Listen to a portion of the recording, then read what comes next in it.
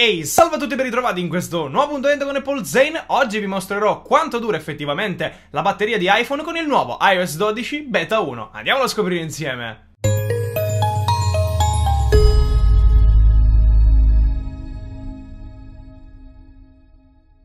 Vuoi sapere le ultime novità Apple in anteprima? Vuoi sapere cosa faccio nella vita privata? Seguimi su Instagram e non te ne pentirai. Allora ragazzi, eccoci qui. Questo video lo sto facendo praticamente una settimana dopo il WWDC. Questo perché ovviamente ho voluto testare almeno una settimana questo nuovo aggiornamento che ripeto è iOS 12 Beta 1. Io ragazzi ribadisco che è una beta veramente fantastica. Rispetto ovviamente alle altre beta mai uscite nella storia Apple, questa è quella con meno bug, meno problemi e con la maggior durata della batteria. Vi do uno spoiler ovviamente. Rispetto ad iOS 11.0, 11.1, 11.2 e addirittura anche 11.4, questo nuovo aggiornamento, sempre ricordo in beta ragazzi e non ufficiale, ha una batteria che dura veramente tantissimo. Ci tengo a precisare ragazzi che Apple ha aggiunto all'interno della sezione batteria una nuova sezione completamente rinnovata che adesso andremo a vedere insieme, piena di grafici che ovviamente non vi farò vedere in maniera interattiva come si può vedere ovviamente dall'iPhone stesso, ma vi mostrerò ovviamente le parti principali. Tra l'altro c'è una nuova funzione che calcola quanto tempo stiamo all'interno dello schermo e quanto utilizziamo iPhone all'interno proprio di iOS 12 e vedremo anche quella sezione, anche perché ci sono tantissimi dettagli che andremo ad analizzare. Ma partiamo subito dal grafico ragazzi ed infatti vi mostro questo screen. Come possiamo vedere nelle ultime 24 ore ovviamente di quel giorno specifico in cui ho effettuato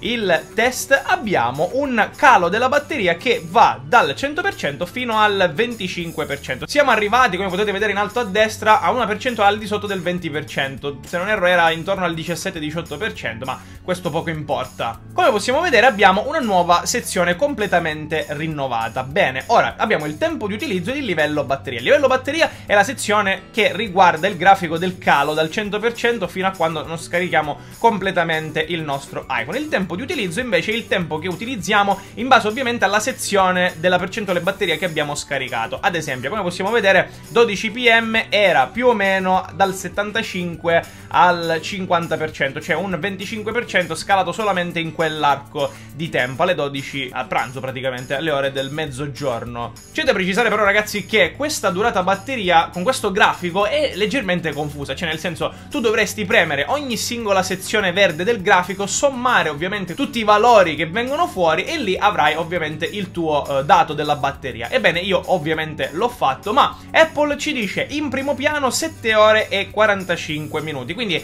il livello medio della batteria, in questo caso, Apple ci segnala che è di 7 ore e 45 minuti dal 100% ovviamente fino a scaricare, in questo caso al 18-20% che sia. L'utilizzo schermo non attivo è stato di 14 minuti, quindi per 14 minuti a quanto pare, dice il software, non ho utilizzato il telefono. L'ho sforzato veramente tanto ragazzi, cioè è stato veramente veramente agonizzante provare i primi giorni iOS 12 perché effettivamente una carica batteria così potente non l'avevo mai vista su una versione beta. Ma andiamo ovviamente ad analizzare nel dettaglio la nuova sezione tempo consentito davanti allo schermo ragazzi perché questa nuova sezione ci permette oltre a vedere quanto tempo sfruttiamo eh, all'interno di iPhone e quindi magari limitarci in alcune cose ci permette di vedere dalla mezzanotte fino a quando ovviamente l'iPhone non si scarica completamente il giorno dopo quanto effettivamente abbiamo utilizzato il nostro smartphone e quindi cosa ho fatto? Fatto? Ho messo in carica iPhone a mezzanotte, non l'ho più toccato, sono andato a dormire e il giorno dopo ho iniziato ovviamente l'utilizzo quotidiano del mio smartphone. Ed ecco che la statistica adesso è molto più precisa e molto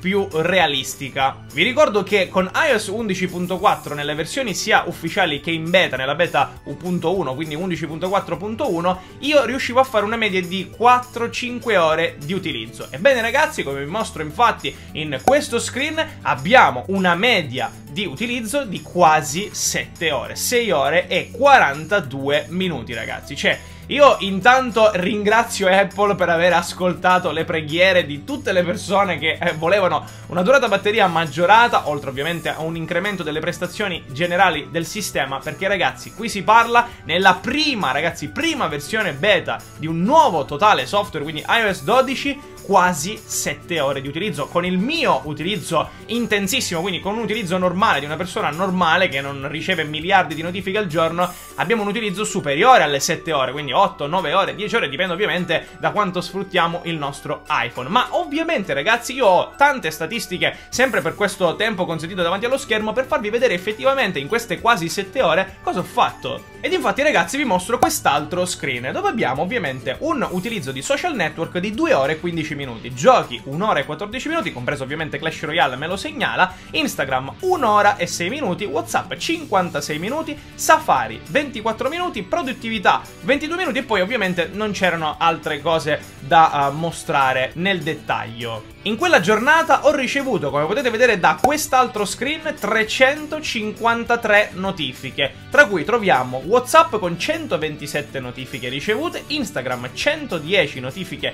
ricevute, YouTube Studio 34, Facebook 24, messaggi 13, mail 9, Clash Royale 8, iApp Zane 7, gestore delle pagine 6, Messenger 5, eccetera, eccetera, eccetera. Ragazzi, in totale 353 notifiche ricevute, ovviamente non sono poche, cioè 356 notifiche sono veramente tante in un giorno, iPhone quindi mi è suonato 353 volte ragazzi, non è per niente poco. Andiamo a vedere un altro dettaglio di questa statistica che vi mostro in quest'altro screen, ovvero ho attivato 270 volte il mio schermo. In pratica mi dice la statistica una volta ogni 3 minuti, quindi più o meno una volta ogni 3 minuti prendevo in mano l'iPhone, lo sbloccavo per leggere una notifica oppure per cazzeggiare praticamente, cioè per fare qualcosa di eh, produttivo per la statistica o comunque nell'uso mio quotidiano ragazzi. C'è da precisare però una cosa, io effettivamente torno, infatti vi mostro nuovamente lo screen dell'utilizzo l'utilizzo della batteria perché vorrei gentilmente chiedere ad Apple una cosa ragazzi cioè io notate cioè il livello batteria ok ci mostra il grafico dello scalare della batteria. Ma in primo piano cosa vuole dire? Cioè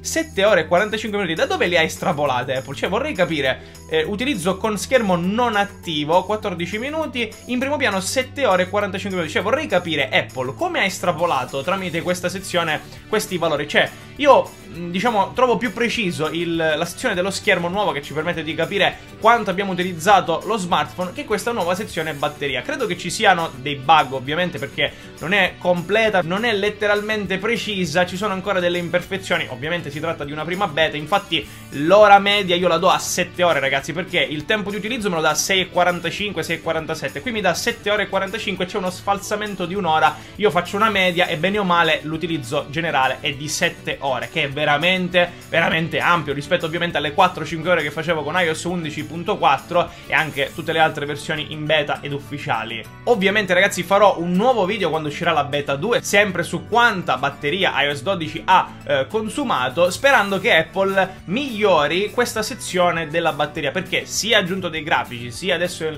molto completa, sì però adesso c'è un problema, tappando le sezioni verdi ci dice solamente quanto consumiamo, quanto tempo abbiamo impiegato impiegato solamente in quella fascia oraria. Un sommario totale di utilizzo e stand-by attualmente non è presente all'interno di questa schermata, cioè non possiamo estrapolare un utilizzo medio uno stand-by perché effettivamente non c'è, cioè dobbiamo sommare, prendere un foglio e scrivere, premendo sulla prima fascia del grafico verde, un'ora e 50, scriviamo nel foglio un'ora e 50 più, passiamo alla seconda fascia del grafico e eh, ci dice, non so, 56 minuti, sommiamo anche un'ora e 50 più 56 minuti e così via, cioè dobbiamo sommare manualmente noi per capire effettivamente quanto quanto abbiamo consumato e quanto tempo abbiamo impiegato ovviamente a scaricare completamente la batteria dal 100% allo 0%. Quindi io chiedo gentilmente ad Apple, ho già segnalato all'interno del pannello sviluppatori, chiedo gentilmente ad Apple di fixare questa problematica, se si può chiamare così, perché effettivamente ancora non si è ben capito il meccanismo che ci permette di capire effettivamente quanta batteria abbiamo